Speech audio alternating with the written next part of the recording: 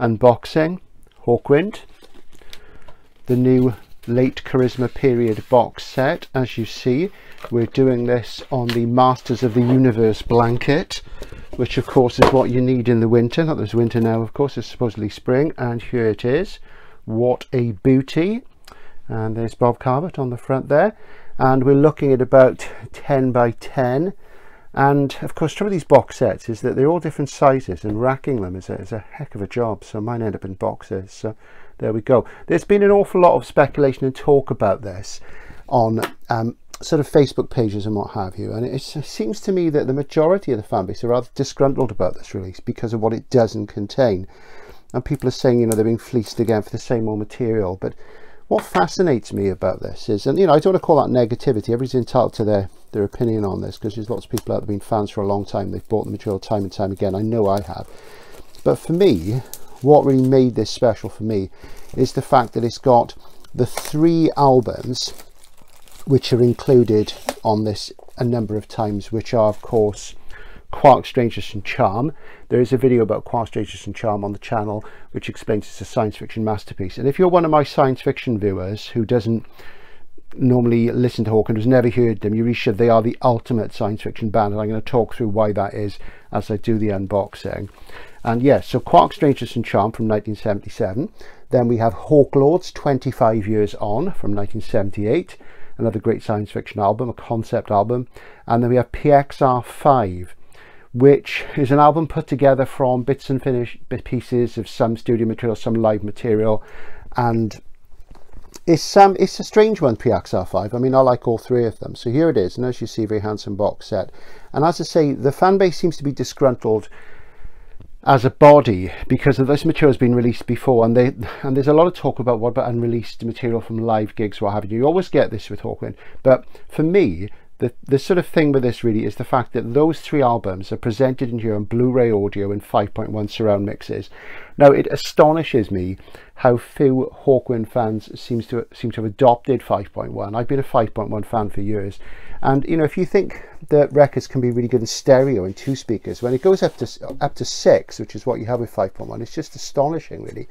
You know, and it does depend on the quality of the mix. And this is Steven Wilson, who, you know, to some people is like a tin god. I mean, I don't mind a bit of porcupine tree, um, but, you know, he, he does seem to dominate that thing. So here's the actual fold out of the discs. So there we are. So we have, what do we have? This disc here, live at Fairfield Hall, Croydon, and live at the Gaumont Ipswich, and that's a CD. Um, live at Montfort Hall, Leicester, and that's a CD, new mix and then we have Sonic Assassins live at Queensway Hall Barnstaple and of course most of this if not all has been available before. It's a new mix. Um, and we have live at Brunel University Uxbridge which is a CD as well. Then we have let's take a look. We have Quark Strangeness and Charm and that's on a Blu-ray audio with a 5.1 surround sound and stereo mix. Fantastic. And there's bonus visual content Quark Strangeness and Charm Marc Bolan TV appearance. And that's the one that Dave Brock wouldn't appear on. And here we have 25 years on and PXR5 on Blu-ray audio as well. And it's got bonus visual feature Hawklords live at Brunel University Uxbridge. Now this is a legendary video recording that we've all known about for decades and decades and people are complaining that there's only two tracks rather than we think there were six or eight recorded. And you know I completely understand that. And I must say that really would have made the sort of 90 pound price point a you know that would have been the thing for a lot of people. You know they would have really gone for it. Because it is expensive especially if you've bought these records time and time again. But to have three albums, Blu-ray audio 5.1 is unprecedented. I've never come across another box set that does that. Maybe some of the King Crimson ones do. But that's great because, you know, some of the box sets which have come and, you know, come out have been, have been really expensive. The Roxy Music one for the Roxy Music album, first Roxy album. And I can't see why anybody who likes sort of classic period early Hawkwind wouldn't like Roxy. I mean, if you compare, say, the middle section of um, Grey Lagoons with the middle section of Space is Deep, then you know it's game over. Really, they're pretty much the same sort of thing. They're they're very very similar sonically and what have you. So yeah, um, but it would have been nice to have all of those. So in here we've got some more discs and we've got Strange and Charm Steven Wilson remix. I'm not too bothered. I don't really like remixes. To me remixes are dance music thing. They're not a rock and roll thing. Rockfield Studio Sessions 25 years on, Steven Wilson remix, PXR5 Steven Wilson remix. Well, they may be better, but we'll see. I tend to prefer original mixes. As I say, I, I regard remixes as as a sort of dance music thing, not a rock, rock and roll thing. And we've also got, this is rather nice, look at this.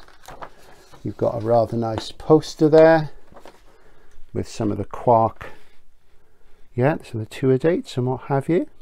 Fantastic, there we are and you know I must have bought these albums six or seven times and there's a book as well which has got some of the Barney Bubbles pictures in there from the Hawk Lords album. And of course there was the famous live show. And as I say the Blu-ray one of the Blu-rays has a couple of tracks. Um, maybe the others are up to par but you know we do want to see that release. So I do understand people being fed up. There's the old family tree by the very wonderful Pete Frame. You can learn so much from these. They're just great. I mean i bought the the pete frame books way way back decades and decades and decades ago and they teach you so much about rock and roll. And yeah lyrics from the inner sleeve design of quark.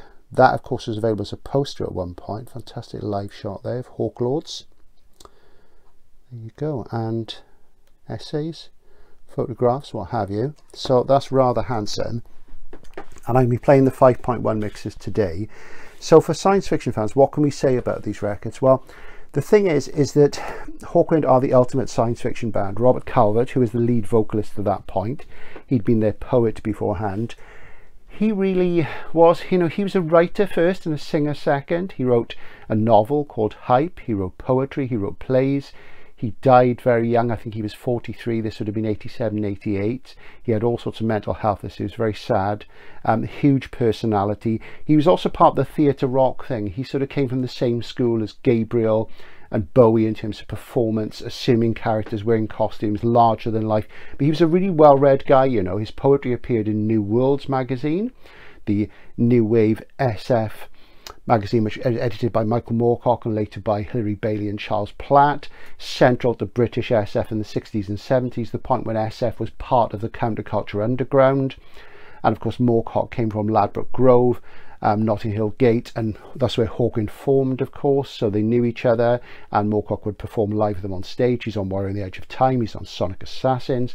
So if you're a science fiction and fantasy reader, and you've not discovered Hawkwind in the 1970s, you really need to, and I would urge you to get Joe Banks's book which is entitled Days of the Underground rather like this box set. And Days of the Underground is a track from Quark Strangeness and Charm. And um, I get a credit in that because I was sort of like suggested some um, ideas about the science fiction angles to um, to Joe and I get an acknowledgement which is really really nice because we got in contact first about this way back in about 2014 um, while he was starting to write and research the book. So yeah, Quark Strangeness and Charm is an album full of science fiction songs including Spirit of the Age, which is a wonderful narrative about suspended animation, clones, sex robots, all that sort of stuff. And this is way back in 1977. Damnation Alley, of course, is there. And Damnation Alley is a song based on the novel by the very wonderful Roger Zelazny. Hawkwind are fond of Roger Zelazny. There's a couple of Zelazny inspired things. Lord of Light is another one. Jack of Shadows is another one from um, PXR5 and there's lots of other great things in here. Quark Strangeness and Charm itself is a very funny song about how physicists would struggle and astronomers struggle to get girlfriends as references to Einstein and all those sort of things. it's very witty indeed. And Fable of a Failed Race, wonderful science fiction song, really beautiful. There's also um, The Iron Dream, an instrumental which is rather like Holst's Mars from the Planet Suite and it's entitled after Norman Spinrad's novel The Iron Dream, which is set in an alternate world where Adolf Hitler um, leaves Germany, he moves to America and he becomes a pop science fiction writer and he writes a novel called Lord of the Swastika and it's a very irreverent parody of the sort of inherent fascism in some SF and heroic fantasy sword and sorcery. So it's redolent of that sort of imagery.